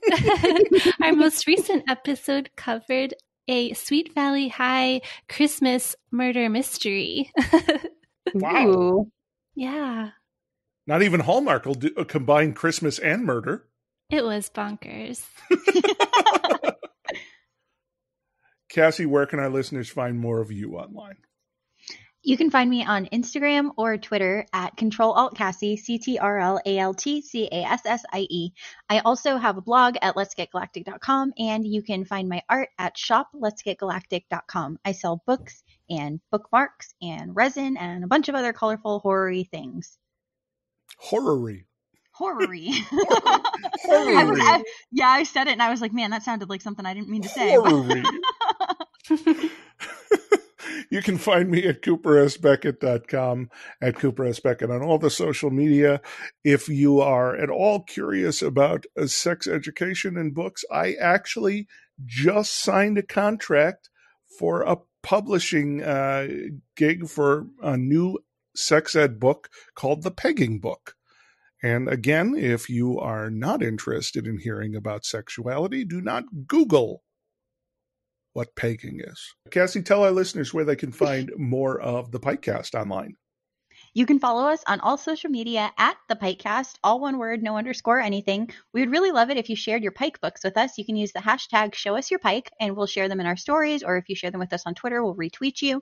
Um, and then we also have a Patreon, and it is patreon.com slash the Pikecast. And that helps us with a lot of stuff behind the scenes. You'll also get access to our Discord where we talk about the books and we give you early access to our episodes. So it's a super fun place. You should come hang out with us. Definitely. And listeners, as you may have surmised, your homework for next week is book two of the Final Friends trilogy. And that book is called The Dance. So. I hope we don't have to wait till the whole entire like end of the book to get to the actual dance. No, the entire book's going to be at the dance, and they're just asking, "Have you seen? Uh, have you seen Michael?" They're just walking through while the music's playing. Just walking around asking if anyone has seen each other. Yeah, that, that's it. But anyway, until next time, listeners. Uh, thank you again, Katie. And Thank you, Katie. Thanks. Pleasant guys. dreams. Woo! You survive the night, friends. You can peek out from under your covers and see the first blues of dawn out the window. Thanks for spending the night with the Pikecast, and we hope you'll join us again next time. Until then, Pikers, pleasant dreams.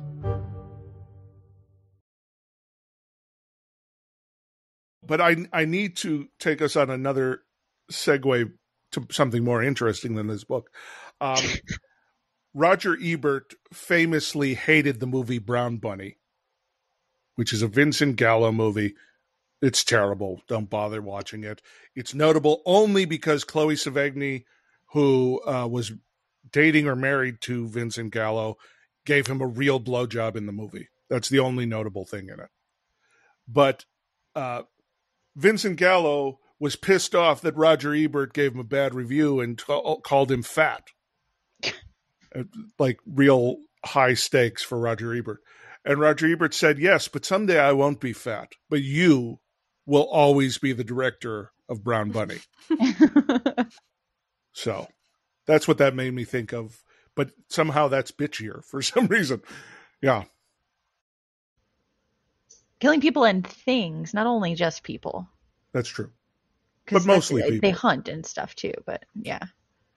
Not not handguns. You're not hunting. You can't hunt with a handgun. There's no kind of handgun you can What are you hunt? hunting for with a handgun? okay, look, I'm going to be honest. I don't go hunting. I'm not Okay, no. type. I just thought people could. the idea with a handgun is you should be closer than a far away hunting thing. So, like a handgun is for shooting someone in the same room. Oh, I see. A And that's rifle is for shooting rifle, someone, right from you know, far away. Yeah, half a Well, mile not away. someone when you're Yeah. hunting. Or- or- but- no, no, you're right. Not Jeez someone. Louise. Well, you know, I I feel like uh no, I'm not going to go there. No, no, no. But hunting, okay, that is good to know. Suffice to say, you don't use handguns. I hunting. I am a, I am uh not the biggest fan of the Second Amendment. Let's move on.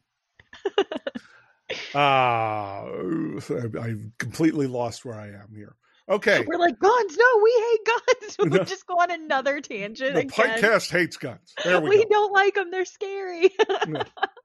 Though I'm not speaking for Katie because I don't know where she stands. Really? You don't? Well, I don't officially know where you stand. I can make assumptions, but I try not to do that in general. I would guess that you also, like the Pikecast, don't Yes. terribly like guns. Thank you. Okay.